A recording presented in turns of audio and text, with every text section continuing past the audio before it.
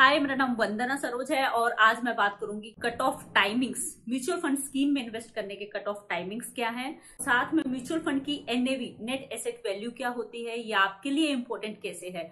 अगर आप एक ऐसी म्यूचुअल फंड स्कीम चूज़ करते हैं जिसकी एनएवी बहुत कम है, क्या इसका मतलब आपने सस्ते में म्यूचुअल फंड में इन्वेस्ट कर दिया? कोई ऐसी म्यूचुअल फंड स्कीम जिसकी एनएवी बहुत ज़्यादा है तो क्या इसका मतलब आप महँगी स्कीम में इन्वेस्ट करने जा रहे हैं? तो ऐसे सारे डाउट्स जो कि म्यूचुअल फंड में इन्वेस्ट करने के कट ऑफ़ टाइमिंग से जुड़े हैं या फिर म्यूचुअल फंड की नेट एसेट वैल्यू से जुड़े हैं, वो सब आपके इसी वीडियो में क्लियर होंगे। सबसे पहले समझते हैं NAV of any mutual fund scheme देखिए एनएवी का मतलब है नेट एसेट वैल्यू किसी भी म्यूचुअल फंड स्कीम की एनएवी उस म्यूचुअल फंड की मार्केट वैल्यू को दिखाता है। एनएवी नेट एसेट वैल्यू एक ऐसी कीमत है जो आपको देनी पड़ती है किसी भी म्यूचुअल फंड स्कीम में इन्वेस्ट करने के लिए। और जब आप उस म्यूचुअल फंड स्कीम को बेचते हैं तो भी उसी एनएवी नेट एसेट वैल्यू के हिसाब से ही आपको अपने इन्वेस्टेड पैसे पे रिटर्न मिलता है। अगर मैं एक एग्ज़ाम्पल लू तो Axis long term equity fund growth की एनएवी 20 अक्टूबर को 47.78 थी।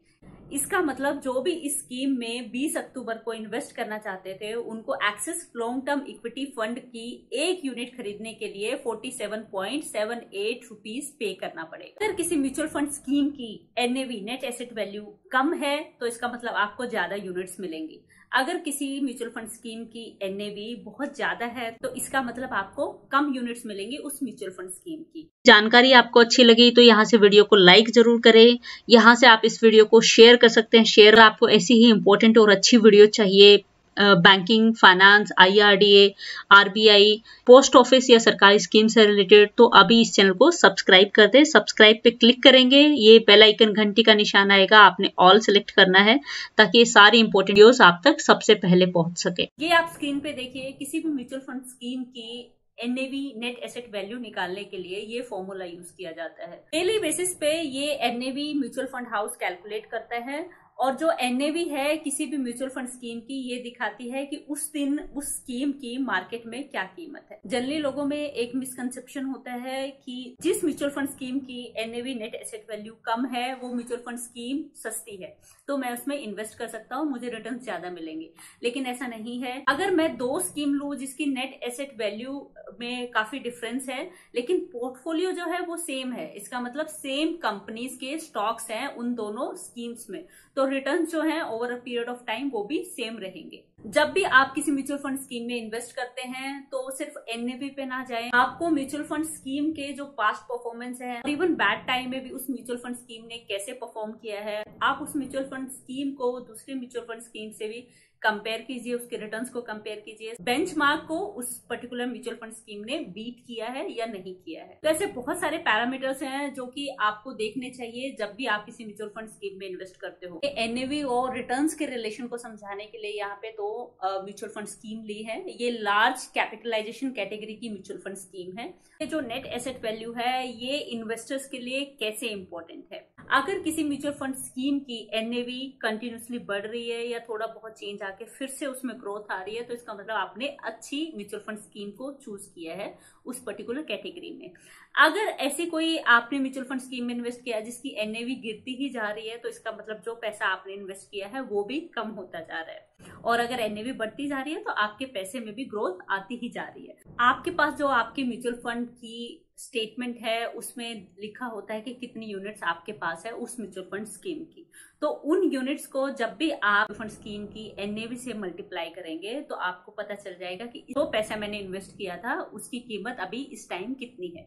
अब मैं बात करती हूँ म्यूचुअल फंड स्कीम्स में इन्वेस्ट करने के या उनको सेल करने के कट ऑफ़ टाइमिंग्स के बारे में। कट ऑफ़ टाइम एक तरह की टाइम की डेडलाइन है कि अगर आपको किसी पर्टिकुलर दिन में किसी म्यूचुअल फंड स्कीम की एक पर्टिकुलर एनएवी चाहिए नेट एसेट वैल्यू चाहिए तो इस टाइम से पहले पहले आपको इन्वेस्ट कर देना चाहिए। तो अगर मैं इक्विटी फंड की बात करूँ, जो कि स्टॉक्स में इन्वेस्ट करते हैं तो अगर इक्विटी म्यूचुअल फंड में आप इन्वेस्ट करना चाहते हो तो आपको दिन में जो वर्किंग डेज़ हैं मंडे टू फ्राइडे उसमें आपको शाम के तीन बजे से पहले पहले इन्वेस्ट कर देना चाहिए। अगर आपको उस दिन की किसी भी इक्विटी म्यूचुअल फंड स्कीम की पर्टिकुलर नेट एसेट वैल्यू चाहिए। ये जो कट ऑफ़ टाइमिंग है, ये अगर आप म्यूचुअल फंड खरीदना चाहते हैं तो भी एप्लीकेबल है। अगर आप म्यूचुअल फंड स्कीम से बाहर निकलना चाहते हैं, उनको बेचना चाहते हैं तो भी एप्लीकेबल है। तीन ऐसे टाइम है जहाँ पे कट ऑफ़ टाइमिंग्स आपके लिए बहुत मैटर कर सकता है। अगर एज ए इन्वेस्टर आप किसी म्यूचुअल फंड स्कीम में इन्वेस्ट करते हैं, जो कि एक पर्टिकुलर सेक्टर से जुड़ी है, या मैं कहूँगी सेक्टोरल म्यूचुअल फंड है, कोई ऐसा बिग चेंज है जो कि उस सेक्टर में आने वाला है, और आपको लग रहा है कि नेक्स्ट डे से जो एनएवी है उस म्यूचुअल फंड स्कीम की, वो बहुत ज़्यादा बढ़ जाएगी। तो बेटर है कि मैं आज ही इन्वेस्ट करूँ। सेकेंड है, अगर आप बहुत बड़ा अमाउंट इन्वेस्ट करने की सोच रहे हैं तो भी आप चाहेंगे कि जो भी मेरी फेवरेट म्यूचुअल फंड स्कीम है वो मुझे थोड़े कम प्राइस पे मिले। तो उस दिन की एनएवी बुक करने के लिए आपको उस कट ऑफ़ टाइम से पहले इन्वेस्ट करना पड़ेगा।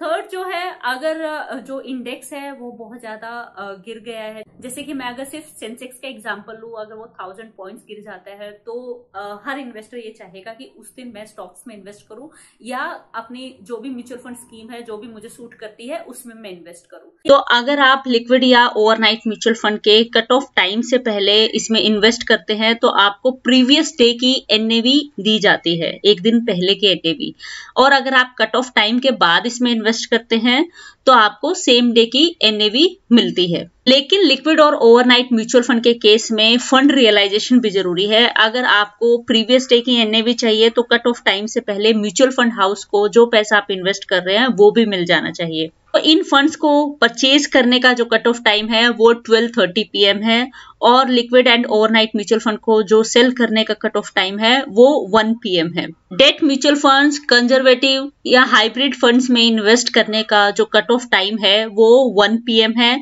और इन म्यूचुअल फंड्स को सेल करने का जो कट ऑफ़ टाइम है वो भी 1 पीएम है। डेट या कंजर्वेटिव म्यूचुअल फंड के केस में अगर आप कट ऑफ़ टाइम से पहले इन्वेस्ट करते हैं तो उसी दिन की एनएवी मिलती है कट ऑफ़ टाइम के बाद इन्वेस्ट करते हैं तो नेक्स्ट डे की एनएवी दी जाती है। अगर आप अपनी म्यूचुअल फंड स्कीम्स में स्विचिंग भी करते हैं debt to equity and equity to debt तो उस केस में भी यही कट ऑफ़ टाइम्स एप्लीकेबल होंगे। इक्विटी म्यूचुअल फंड में अगर आप इन्वेस्ट करना चाहते हैं तो सेम डे की एनएवी लेने के लिए कट ऑफ़ टाइम है 3 पीएम और अगर आप इक्विटी म्यूचुअल फंड को सेल करना चाहते हैं सेम डे की एनएवी पे तो भी कट ऑफ़ टाइम सेम है 3 पीएम अगर आप 3 पीएम के बाद इन्वेस्ट करते हो तो आपको नेक्स्ट डे की एनएवी मिलती है। अगर आपको ऐसी ही इंपॉर्टेंट वीडियो चाहिए, अभी इस चैनल को सब्सक्राइब कर दे। सब्सक्राइब पे क्लिक करेंगे, ये बेल आइकन घंटी का निशान आएगा, आपने ऑल सेलेक्ट करना है। तो ये थी मेरी वीडियो मिलती हूँ नेक्स्ट वीडियो में।